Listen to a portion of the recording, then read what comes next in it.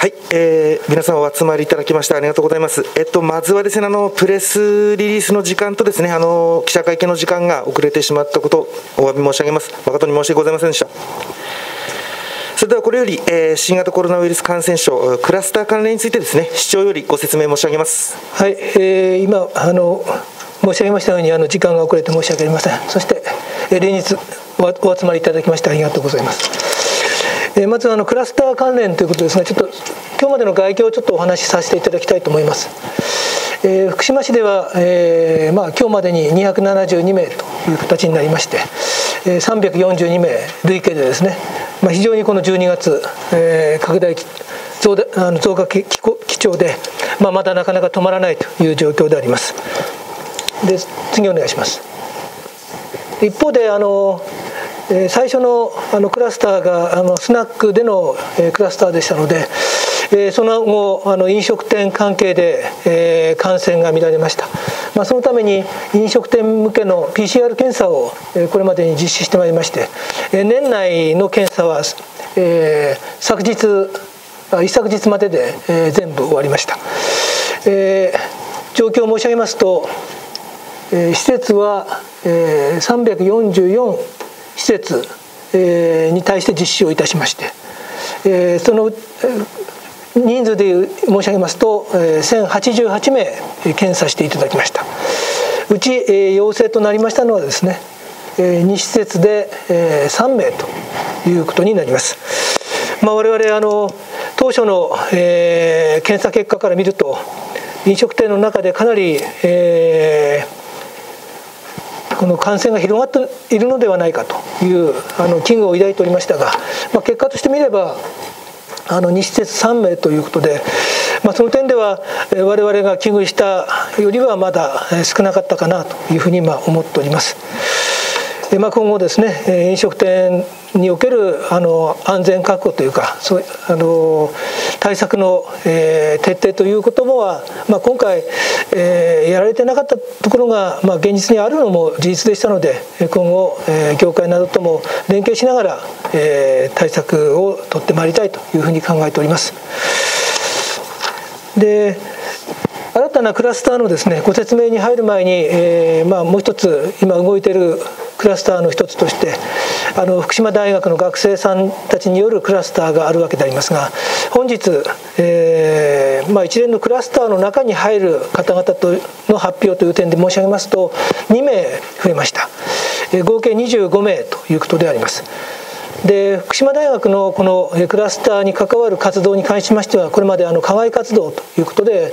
申し上げておりましたけれども、まあ、学外活動ですね、えー、土曜日に福島大学の方から発表がありまして、えー、まあいわゆるダンスの発表会のためのまあ一連の活動であったということであります。で我々も今あのそれに関する調査をやっておりますが非常にこれ人数が多くてしかもいろいろとここ入り混じってるんでですねなかなか調査が難航しております、まあ、その点では、えー、今日発表の2名が、えー、例えばこれまで、えーこの人はこのグループに入ってたとかこのグループに入ってたとかこういう図示をさせていただいてたと思いますが、えー、その2名はどこに入るのかちょっと今調査中というかまだ分かりません、まあ、その点ではそういった図表はあの今日は、えー、まあ提供できないということを、まあ、ご理解いただきたいというふうに思います。そしてまた、えー、当初はあのまあ、いわゆる、えー、学外活動後の飲み会をベースに、まあ、広がっていた部分が我々最初に分かったわけでありますがその後まあ別の飲み会がありまた一方で飲み会とは関係ないところでやっぱりあの感染されてた方もいるということがまあ判明してまいりました。まあ、その点ではですね、えー、どこでまあ、感染したとかいうのは、まあ、非常にこれ判別し難いわけでありますがいわゆるその、えー、ダンスの発表会のための練習やあるいは発表会、まあ、そうした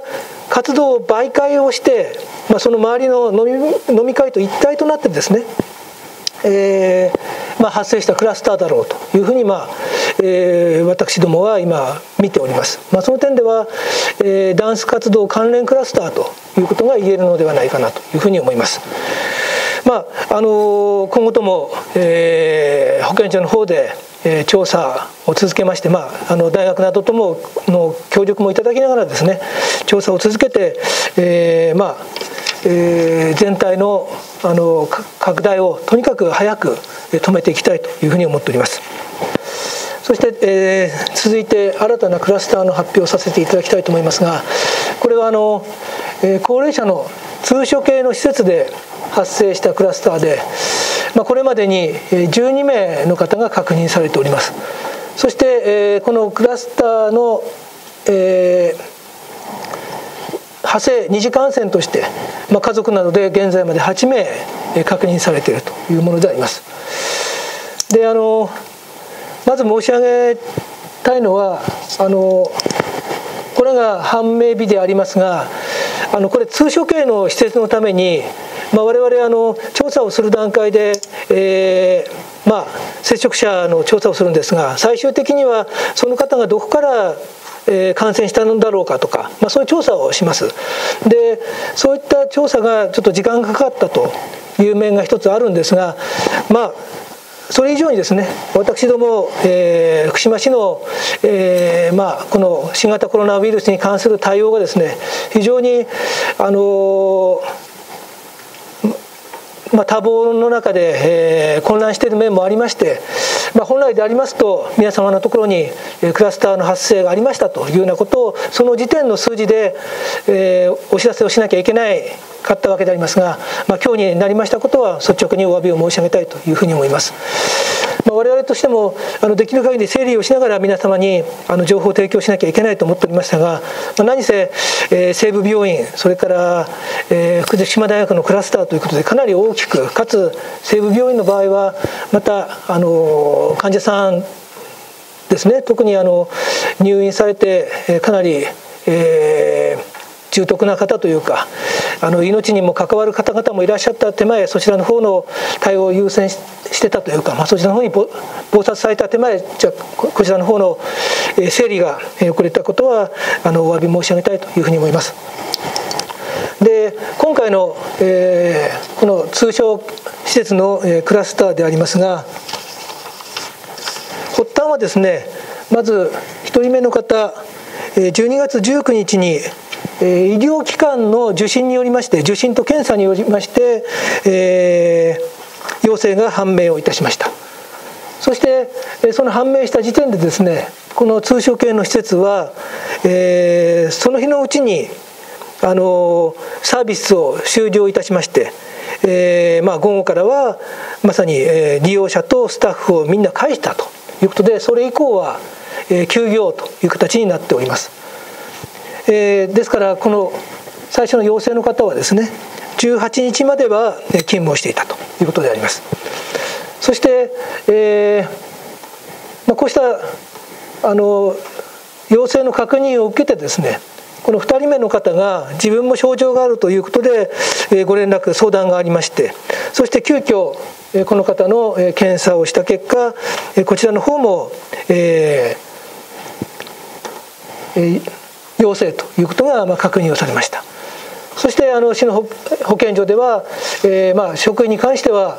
えー、もうすでに、えー、検査して出てるかもしれないということで、えー、全員の検査を実施して、え、22人のあ失礼しました22日にまたもうお一人の陽性を確認したというものであります。一方で、えー通所系の施設ですので、まあ、あの利用者の皆さんの割り出しをしてそれで、えー、感染の恐れのある通所の利用の皆様の、えー、検査を、えー、まああの昨日まで、えー、実施をいたしておりましてその結果として、えー、合計9名の方の陽性を確認したというものであります。まあ、結果として見ればですね、えー職員が3名利用者が9名の合計12名のクラスターになっているというものであります。でなぜこのようなクラスターが発生したのかということを、まあ、保健所の方で調べましたが、まあ、一つにはですね職員さんは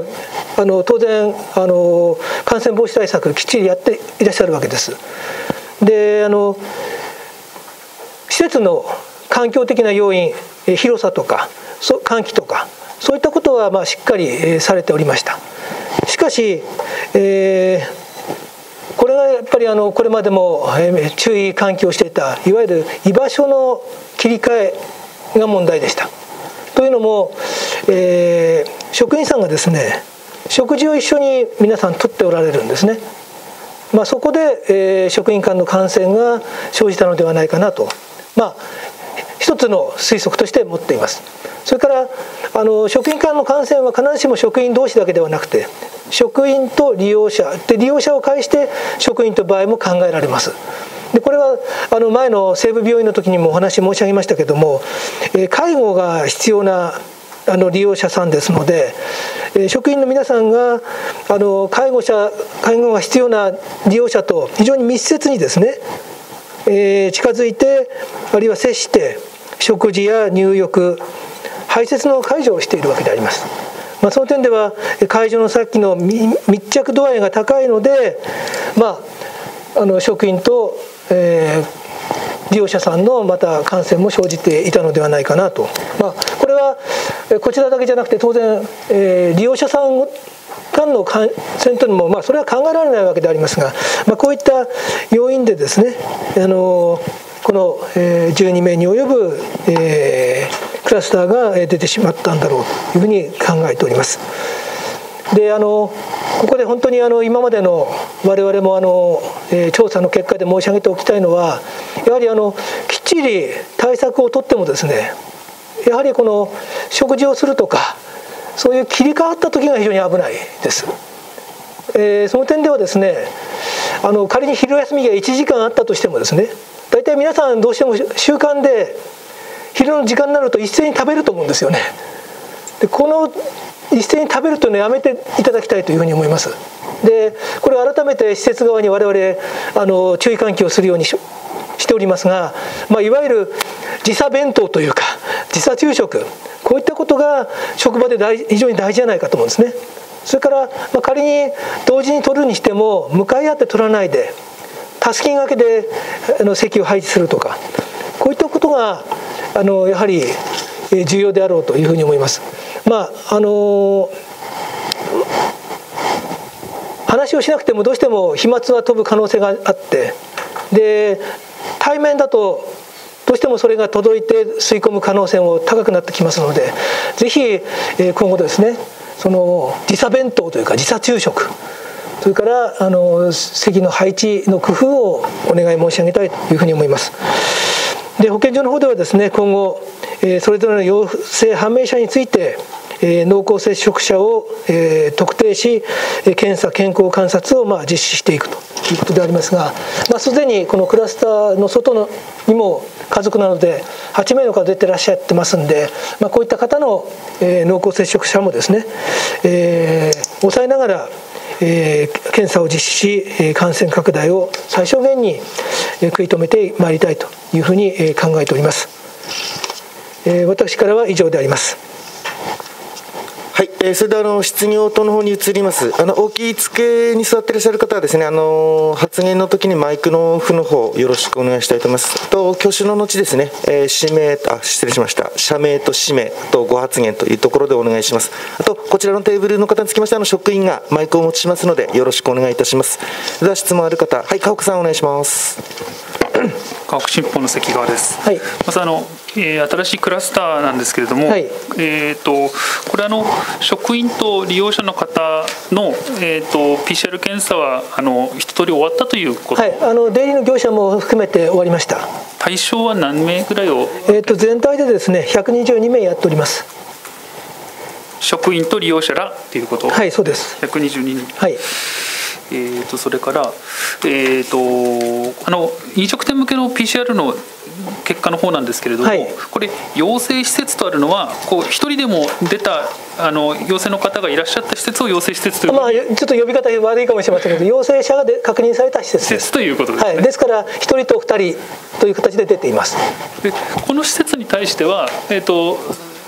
保健所としては、まあ、消毒なりをしたということになるわけいやいやこれは保健所でしているわけではなくてそれぞれの各地で対応いただいております。あなるほど、はい、じゃあ各店舗が消毒なり何なりの対応をしているということ。たあの対応は各店舗の責任においてやりやっていただくということであります。わかりました。ありがとうございます、はい、FTB さんお願いします。あ川岡さんマイクの方オフの方で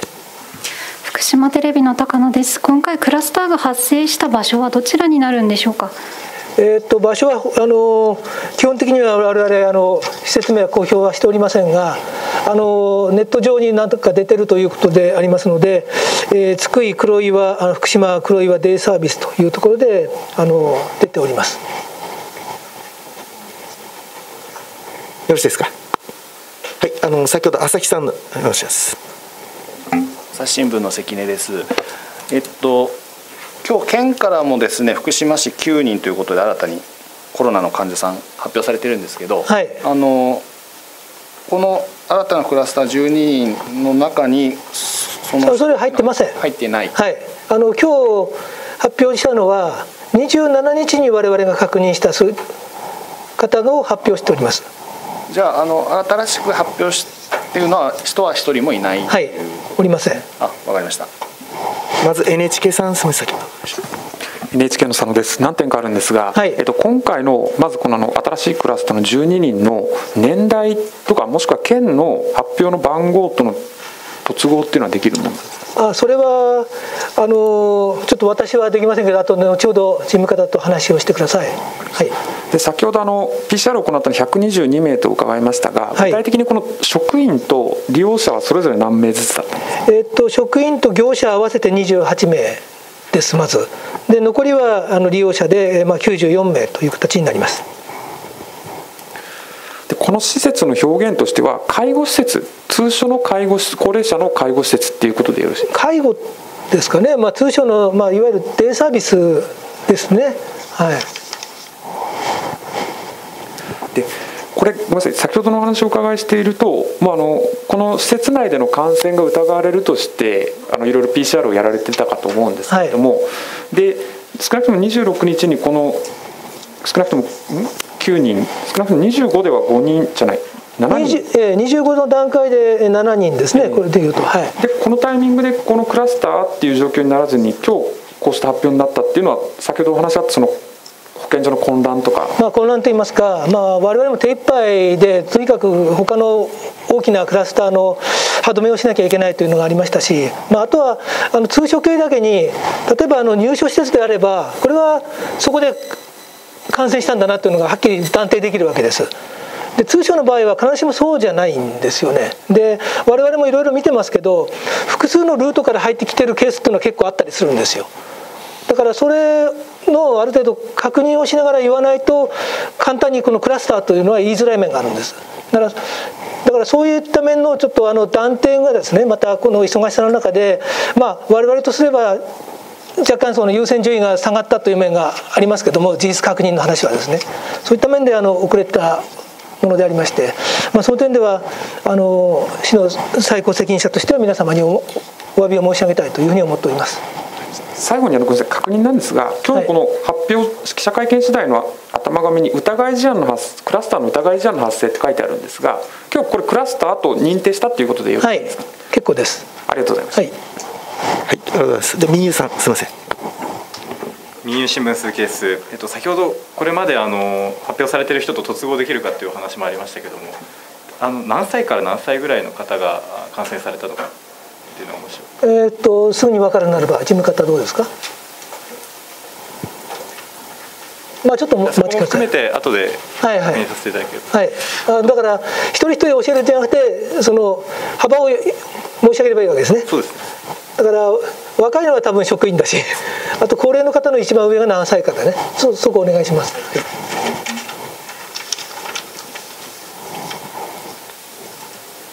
他いかがでしょう？はいどうぞ。あもう一点いいですか？あどうぞ新しい人はいないということだったんです。これは家族などの8人も含めてもうすでに発表済みの人ということでそうですね。あの家族はあの今日結構出てますね。はい。これも含めて新しい人はいない。新しいというか今日新しく発表今発表新しく発表したものはおりません。はい、はい。じゃあ福島中央テレビさんお願いします。ごめんなさい。細かいことですけれども、えー、家族のこの判明日っていうのはいつですか？家族はですね一番早い人は20日ぐらいでしたかね。20日ぐらいですね。はい。で最後お尻の方は分かりますか？2727 27はい、はい、えっと判明っていうことは今日発表して先ほどの話で今日発表してる中に入ってるってこと？県の方。そうですね。はい、はいで、えーと、正式なクラスはこの12人で、まあ、あの8人はあくまで関連ということです。二次二次感染二次感染ということですよね。はい、わ、はい、かりました。ありがとうございます。はい、はい、ありがとうございます。はい、民放さんお願いします。福島民放の半沢ですあの先日赤十字病院でもクラスター確認されまして今回のクラスター市内で何例目7例目7例目ですねはいありがとうございますあそういえばあの赤十字病に関しては先ほどなんか会見をされたというふうに伺っておりますけれども、まああのえー、1月の1日から、えー、救急を開始して、えー、1月の4日から外来を再開されるということで、まあ、我々、まあ、ひとまずあのこれまでの、えー、非常に危機的な状況よりは光が見えたなと思って、まあ、あの大変ありがたく思っております。すみません、はいあの先日、緊急警報あの延長されましたけども、はい、改めてこの年末年始迎えるにあたりまして、市長としての何かこう呼びかけといいますか、どのようにあの市民に対策講じてほしいか、聞かせてください。はいあの本当にあのこの年末年始がですね、えー、この、えー、福島市の拡大基調を抑えられるかどうかの正念場です。でぜひ市民の皆さんには最大限の警戒をしてであのできる限り外出は控えるそれから年末年始の特色特徴でいうとどうしてもあの初詣とかあるいはあの買い物でですね混雑するケースがありますのでぜひ混雑は避けていただきたいというふうに思います。でさらに、えー、本当にあの誰が感染しているかわからないので家族も感染しているかもしれないという前提に立ってマスクの着用とかそういったことを怠らないでいただきたいというふうに思います。以上です。所長ですか？所長から。はい。すみません。あの、はい、先ほどの質問で、えっと、あ失礼しましたえー、先ほどの質問での、えー、12名の年代ですけども、えー、職員は3 4 0代の方です。それから入所者については60代から90代までおられます。すみません。性別も分かれば教えていただいていいですか？えー、っとあのうんとそうですね。はい。えー、っと職員の方は女性が2人男性が1人ですから利用者につきましては男性が5名女性が4名です。はい。他よろしいでしょうか？はい、えー、KFB さん。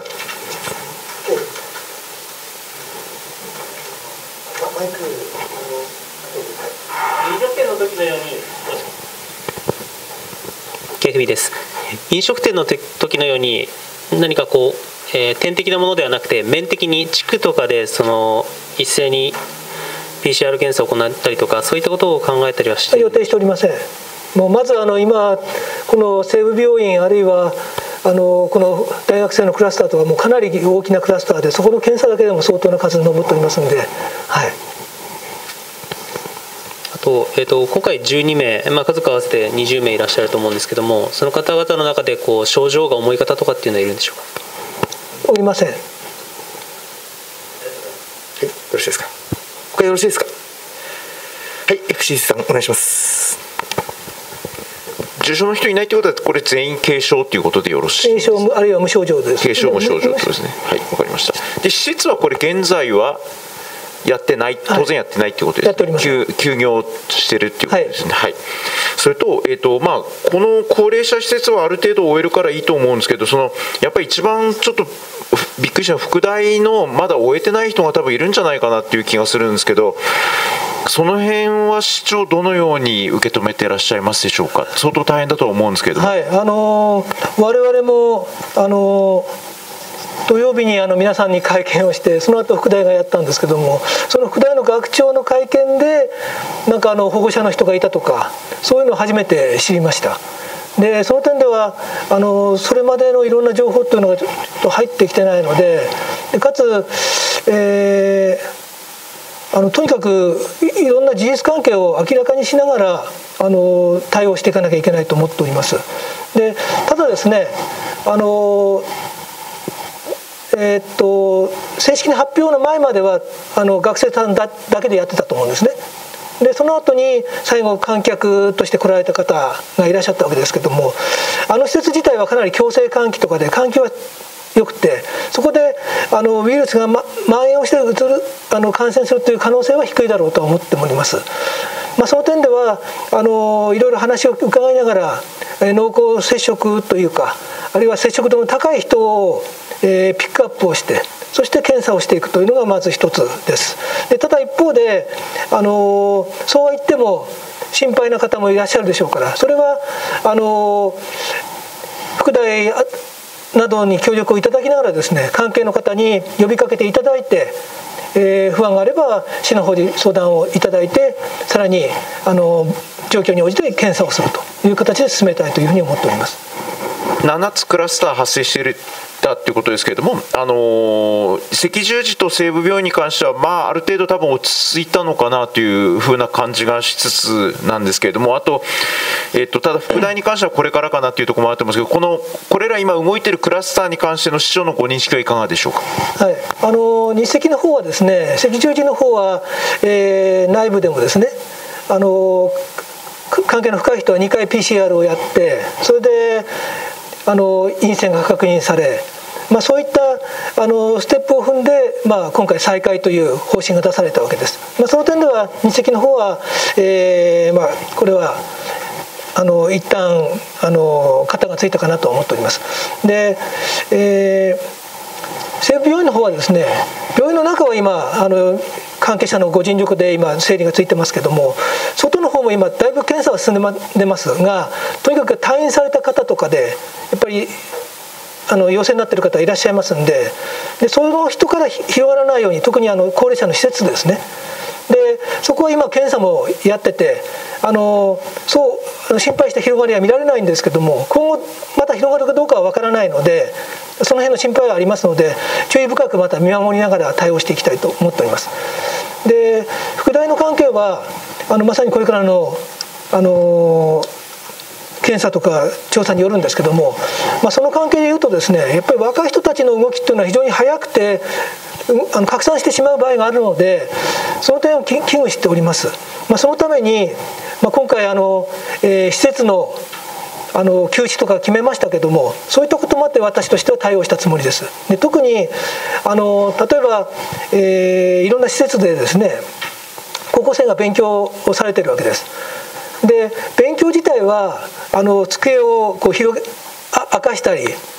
それなりの感染対策取っていただいてるからそこそれ自体のリスクっていうのは少ないと思うんですよね。ただ問題は先ほど申し上げたようにその人が集まるとその後にちょっとこう緩む場面どうしても出てきやすいんですよ。あのじゃあちょっと休憩しようかと言って休憩室に行ってジュースを飲みながらしゃべるとかですねあるいは一緒に食べるとか。まあ、あの実用と我々成人式をやめたのも成人式自体がそのその感染する恐れがあるというよりはその後にみんなが集まってまたあのマスクを外したりそのやっぱり防御が弱い状態を作りやすいということで実はやめております。でその点ではあの若い人たちのそういう場を作らないようにという面である意味では今先に手を打ったのがあの施設の、えー、一定の利用制限であります、はい、はい、ありがとうございました。他よろしいでしょうか？大丈夫ですか？はい。えー、それではですね以上で、えー、記者会見の方終了いたします。年末のお忙しい中お集まりいただきましてどうもありがとうございました。はいどうもありがとうございました。